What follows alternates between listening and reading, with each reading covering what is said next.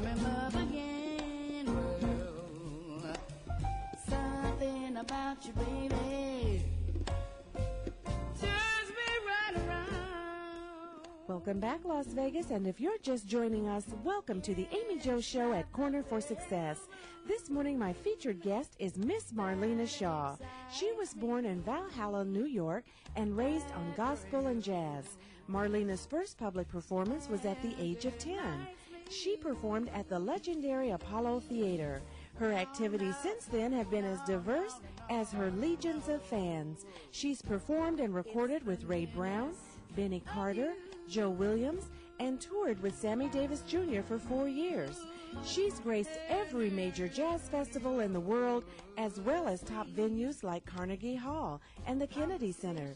It's not unusual for Marlena to be on the road over 200 days a year. Good morning, Marlena. Good morning, Amie Jo. How are you today? I am doing absolutely wonderful. Wonderful. wonderful. And you don't know this. Uh oh, here comes secrets. She's like, going to start sweating. No, um, about 10, 11 years ago, I was in Phoenix, Arizona, and I was catching a plane. Okay. I was standing at the podium, and a car rolled up. The driver hopped out, ran around the car, opened up the back door, and a beautiful lady stepped out. And she had such a presence. I just looked from where I was standing to see what was going on, and the bellmen were running around grabbing bags, and yes, ma'am, yes, ma'am. And when the lady left, I went over and said, Who was that lady? I could tell she was somebody. And he said, Why, that's Miss Marlena Shaw. Must have been running late. so I saw you and never dreamed that I would have the opportunity to meet you. So when you ask me how was I doing today, I can really say, great. Well, thank you. It's such a pleasure to meet you in person, and what a lovely lady you are. Well, thank you so much. I looked at your bio and I did some research on you, and I said, 16 plus albums that you've released. That was a lot of work, huh? You know, uh, when you start off as young as I did, ha ha ha, I think um, it didn't seem as though it was work. And to be honest with you, even now after 43 years of going up and down the road and around the world, it still doesn't seem like work. The music is the easiest part to do. Yes. It's the traveling now. If y'all could just be able to zap me from one country to another without taking off all my clothes at the airport, you know, it's amazing. Amen to that. I, I- mean, it is such a hassle to fly. Unless some sponsors are listening and they want to support the show, man, I, I hate to fly now because it is a lot of problem. Oh, I'm telling you. And I left New Zealand having uh, just such a wonderful time. They wanted to have a parade for me. And as soon as I stepped into American territory, it was like up against the wall. Take off your hat, take off your drawers, take off, you know. I mean, please, you get over here, you criminal, you know. So, Oh. That's the hardest part about uh, the travel today. But no, I've been so blessed. I mean, I have been, uh, I've done so many different types of music and been in such different company. Um, Yes. This last uh, was with the uh, with the symphony. I've traveled with big bands. I've traveled with my small groups. Uh, I at one time I was traveling with eleven people. Now understand, we weren't just traveling together. I was paying eleven people. So I mean, when I get so that I have to go out because I gotta, you know, I I've got a small corporation. Now, if I got to go, something wrong wrong. Right. That kind of So- takes the fun out of it, doesn't yes, it? Yes, it does. But I've had wonderful people. Even during that period, I had uh, Pat Metheny was my guitarist, and Lyle Mays was playing uh, acoustic piano. So it was fun, even you know, even though my wallet was getting smaller and smaller. Uh-huh. See, uh, do you need a wallet? Said no, sugar. Just give me the change. What's left? Well, So Marlena, been you great. have done lots of different genres of music. Yes. You've done blues, you've done disco, jazz. How do you class yourself, classify yourself now? I don't. Okay, No, you're just the I don't. one. I never did. Um, I knew, see, because my uncle uh, was a jazz trumpet player, so he, you know, he had to suffer the slings and arrows of that particular kind of of living, you know.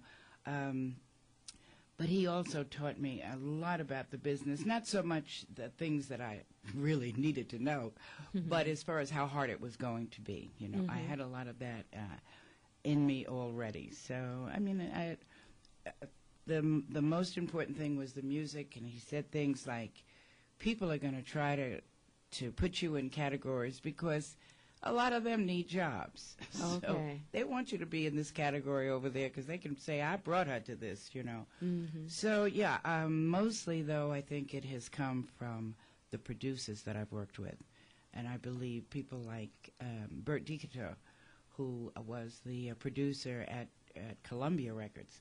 I think he did the arrangements that more or less brought me to the street. That was uh, more more pop, or it really wasn't pop. I think they called it urban contemporary at that Okay. time. So you know, it, child. I don't have time to classify myself, and I can't keep up with all the labels they put out today. So I just thank God that I, I'm a singer and I'm a, a lover of lyrics. So I love ballads, uh, and and I'm an entertainer, number one. I Yes. think. Oh my goodness. Well, let's talk about young Marlena.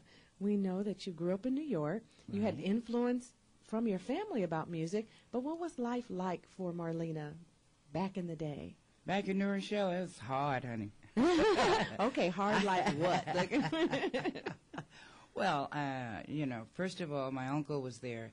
He wanted me to sing jazz. He wanted me to learn how to play jazz on the piano, so then that he could uh, practice his trumpet. Okay. now, I think that's when I really got great hearing, because I'd be sitting there with tears coming down my eyes, waiting for my grandmother to come home from work.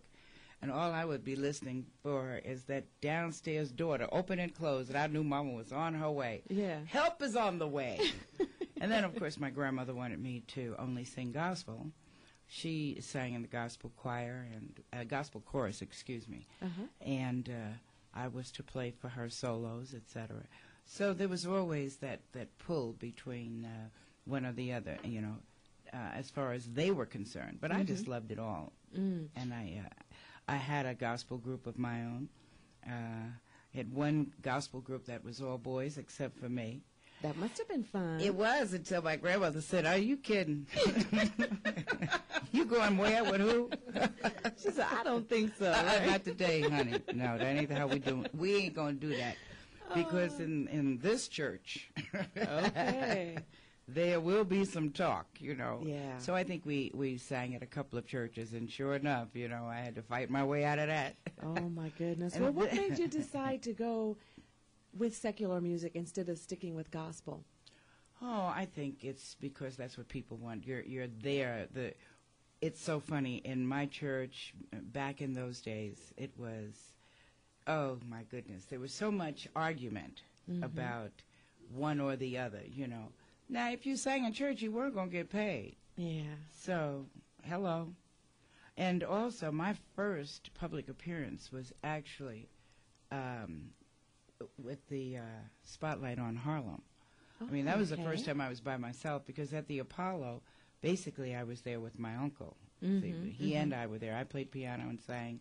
He played trumpet, you know, and sang. Not at the same time, though. he wasn't that good. Okay. Well, we have a caller on the line. Dee, go ahead, please. Good morning. Good morning. I just called to say how much I enjoy uh, Miss Charles' music. Been Thank listening you. to it, and I hope that you played just a little bit of "Go Away, Little Boy." we will have a privilege to hear that a little bit later in the show. Great. I've really enjoyed your music over the years, and unfortunately, I haven't had a chance to get out to one of your shows, but I'm going to try to get you this time. All right. Thank you for listening and thank you for calling. Thank you. Thank All you, right. Dee. When you are in the business of show business, how early do you learn that? That there really is a difference. Yeah, I think we all learn it at a different time. You Mhm. know, um, basically, um, you want to get paid. That's you know, and, and- and it's so funny because I just recently got a, a letter from a lady who's actually been in the business for quite a while, and she asked me that question: How do I, uh, how do I price myself? You know, Okay.